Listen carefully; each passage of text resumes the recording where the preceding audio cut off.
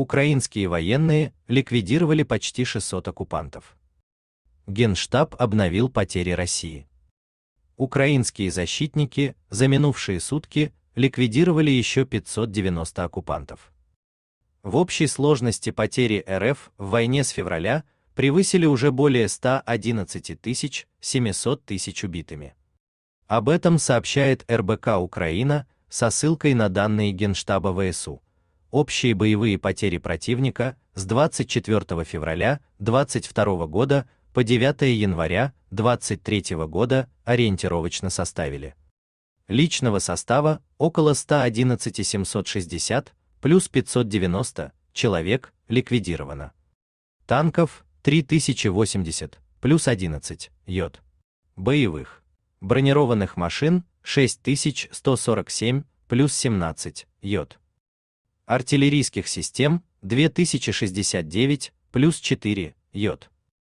РСЗО 434 плюс 3 йод. Средств ПВО 217 плюс 0 йод. Самолетов 285 плюс 0 йод. Вертолетов 275 плюс 3 йод. БПЛа оперативно-тактического уровня 1856 плюс 7 йод. Крылатых ракет 723 плюс 0 йод кораблей, катеров 16 плюс 0 йод.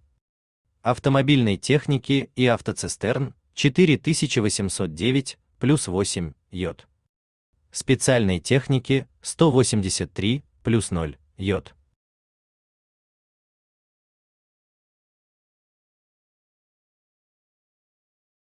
Напомним, по данным Генштаба, за сутки 8 января украинские ракетчики и артиллеристы поразили семь районов сосредоточения живой силы и военной техники противника, а также склад горюче-смазочных материалов.